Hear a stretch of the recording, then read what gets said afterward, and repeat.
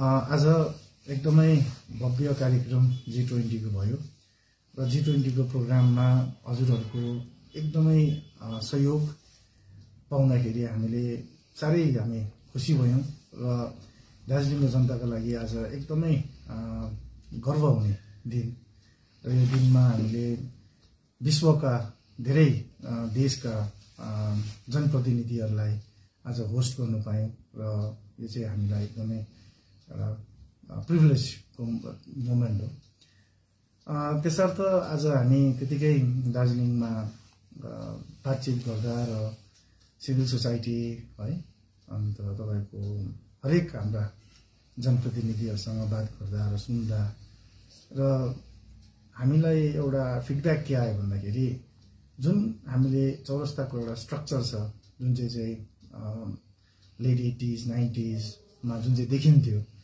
जुन प्रकारको चौरस्ता जुन प्रकारको मल रोड त्यो देख्दाखेरि चाहिँ हाम्रो पब्लिकमा चाहिँ एउटा यति मिठो यादहरू आएछ है।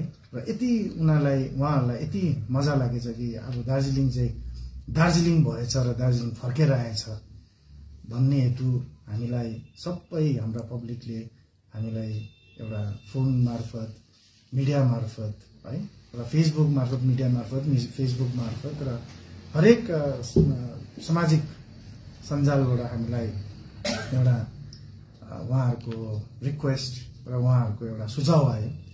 र त्यो सुझाव चाहिँ के थियो भन्दाखेरि हुन त उहाँहरू पनि जो हाम्रा त्यहाँ बसोबास गरेर दोकान चलाएर खानुभएका मेरा हाम्रा दाजुभाइ दिदीबहिनी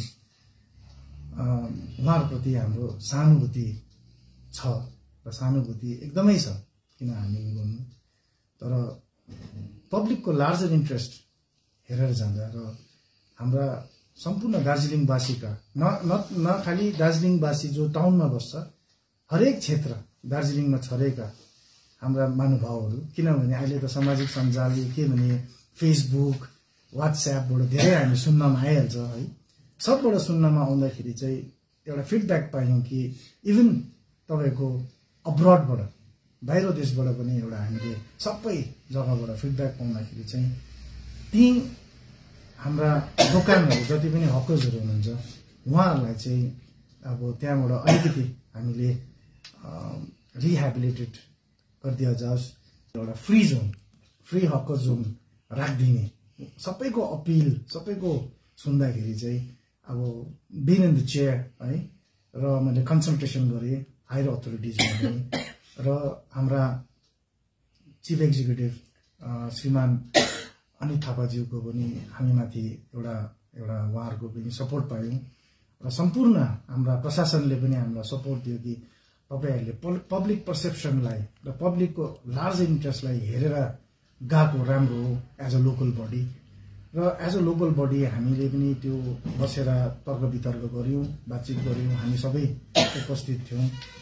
र सबै हामी बातचित गरेर जाँदाखेरि चाहिँ हामी यो निष्कर्षमा आयौँ कि अब यहाँबाट उपरान्त जति पनि त्यहाँ दोकान लिएर बस्नुभएका दाजुभाइ दिदीबहिनीहरू छन् उहाँहरू सबैलाई हामी एउटा नम्र निवेदन गर्दछौँ कि उहाँहरूले अब त्यहाँ दोकान चाहिँ नथापिदिने। र त्यो जग्गालाई चाहिँ हामीले क्लियर राखिदिने ताकि हाम्रा भावी भविष्यमा हाम्रो नानी केटाकेटीले पनि त्यो जग्गालाई राम्ररी इन्जोय गरोस् त्यो जग्गालाई एउटा फिल गरोस् कि वाट वाज दार्जिलिङ अनि वाट इज दार्जिलिङ भनेर।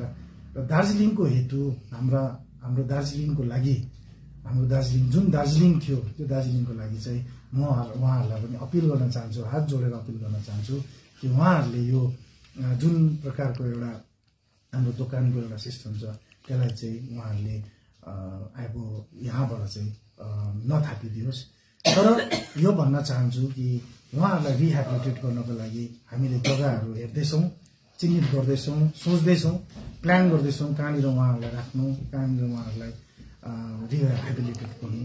यो होइन कि उहाँहरूलाई हामी त्यत्तिकै लत्ता छोडेर हामी जान्छौँ। उहाँहरूलाई जग्गा दिन्छौँ उहाँहरूलाई चिन्हित गराउँछौँ कि यो जग्गा चाहिँ तपाईँहरूको मार्केट हुन्छ र त्यहाँबाट यहाँबाट उपरान्त तपाईँहरूको भविष्य राम्रो भएर जान्छ। यो होइन कि तपाईँहरूको अहिले जुन चाहिँ दोकानहरू थापेर बस्नु भएको थियो यो एउटा इन्टरिम थियो। कुनै न कुनै दिन त त्यहाँ हट्नै पर्थ्यो। तर अब यहाँबाट उपरान्त हामी तपाईँहरूलाई फिक्स्ड एउटा सेटल्ड जग्गा हामी छानेर तपाईँहरूलाई अब बनाएर हुन्छ कि क्रिएट गरेर हुन्छ तपाईँहरूलाई दिन्छौँ। त्यहाँबाट उपरान्त तपाईँहरू त्यो दोकान लिएर त्यहाँनिर तपाईँहरूको जीविका चलाएर तपाईँहरूको फ्यामिलीलाई हेर्नुहोस् तपाईँहरूको सबै जीविकालाई चलाउनुहोस्। तर यो इन्टरिम खालके दोकानहरू तपाईँहरूले गर्नु पर्दैन। त्यहाँदेखिको तपाईँहरूलाई सबै राम्रो फिक्स दोकानहरू पाउने हुनुहुन्छ। तपाईँहरूलाई राम्रो भएर जान्छ भविष्यमा भन्ने मेरो अनित थापाज्यूको पनि त्यही सोच र हाम्रो बोर्डको पनि त्यही सोच छ। र मलाई लाग्छ तपाईँहरूले हामीलाई सहयोग पुर्याइदिनुहुन्छ होला र सहयोग पुर्याउनुको निम्ति म फेरि तपाईँहरूलाई हात जोडेर अपिल गर्छु है र तपाईँहरूलाई म इभन अब यो कति टाइमसम्म तपाईँहरूलाई प्रब्लम होला त्यसको लागि म क्षमा पनि चाहन्छु। तर तपाईँहरूलाई रिहेबिलिटेट गरेर हामी राखिदिनेछौँ। काहीँ न काहीँ हामी चिन्हित जग्गा बनाएर तपाईँहरूलाई रिहेबिलिटेट गरेर त्यसलाई महाकाल मार्केट भनेर नै हामी चिन्हित गर्नेछौँ। तर जुन जग्गा अहिले छ त्यसलाई चाहिँ तपाईँहरूले इन्क्रोचमेन्ट फ्री गरिदिनुहोस् भनेर अपिल गर्दै अब यहाँदेखिको उपरान्त हामी त्यहाँ दोकान नथापिदिने हामी एउटा सुझाउ प्लस हामी एउटा डिक्लेरेसन धन्यवाद। कहिलेदेखि सुरु अ, अब तपाईँको भोलिदेखि नै स्टार्ट हुन्छ यो।